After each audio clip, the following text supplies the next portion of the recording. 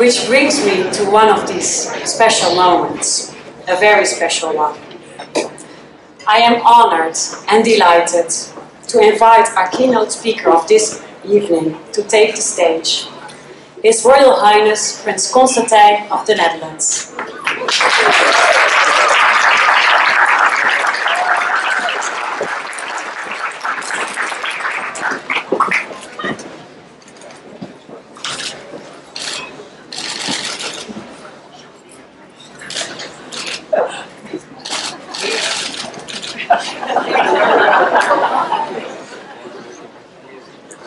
Thank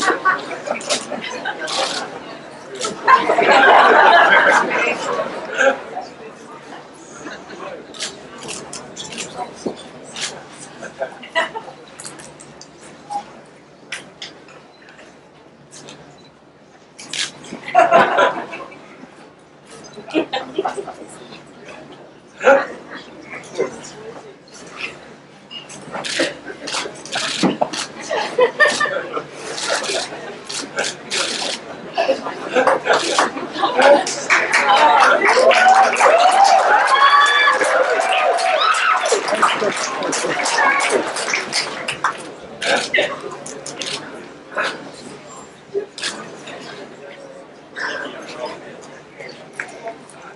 Silence. How long and awkward one minute can be when it's silent. It's a rare phenomenon with so much Twitter and chatter in our lives.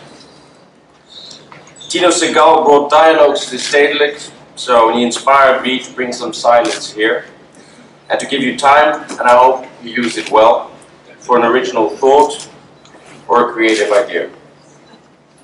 But as the entertainment and artistic value of a silent man standing in front of an audience is rather limited, I will say a few words for which I was invited to do. Time to think, create, learn and develop is exactly what Rijksacademie is about. I gave you an embarrassing long one minute, but this institution offers one to two years to the best artistic talents worldwide to step out of the frantic pace and distractions of the daily art world to work on personal development and new ideas. Some may say it's a luxury to have such an institution. Indeed, it is. Time is the most valuable asset these days. And to be given time in the presence of peers from all over the world and with mentors that have made their mark, it is a luxury only granted to a few. Those few talented individuals that have proven themselves and are likely to use that time well. And besides the individual artists in the program, the city and the Netherlands as a whole benefit as well. Here, in contrast, it is not a luxury or a nice to have, it is basic economics. Art and culture generate income for tourists, they help attract new businesses and the best young professionals to settle in this city.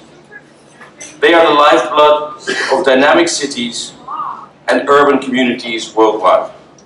They nurture progress, challenge and disrupt the status quo, breathe new energy into the fabric of society.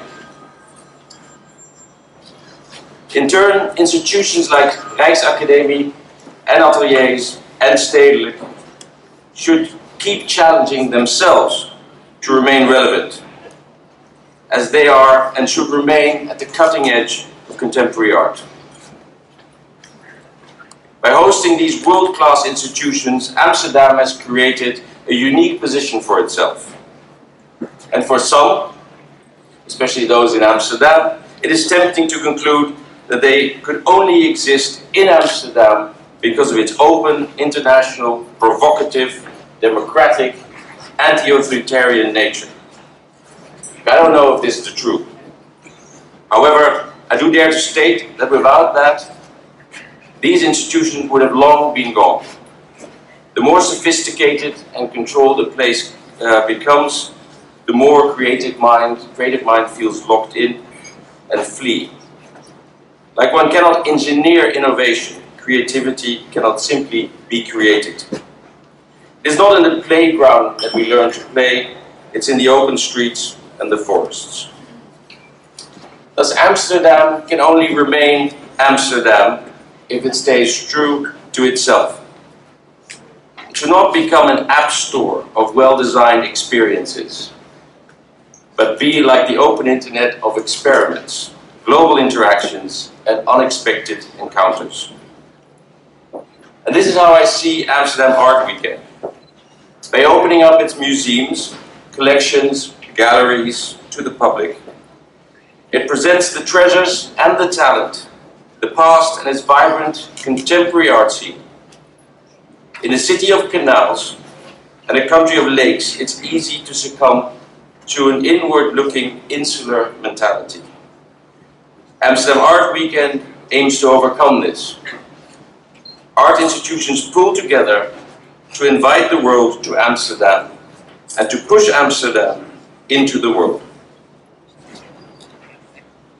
The Rijksacademie Open 2015 will show the vibrancy of this place and its artists. They will surprise, they will shock, they will inspire their audiences and help us reflect. A weekend obviously is far too short, and I would love this to be a month or even a whole year. But every day should be a day of art. And as we know, a weekend is all we have received. So let's enjoy it while it lasts and make sure that its impact is not limited to a weekend of art, but a mind shift to think bigger, to reach higher, and to go further. To dare to explore new possibilities together here in Amsterdam, in the Netherlands, and in a world that so desperately needs more time to think. Thank you very much.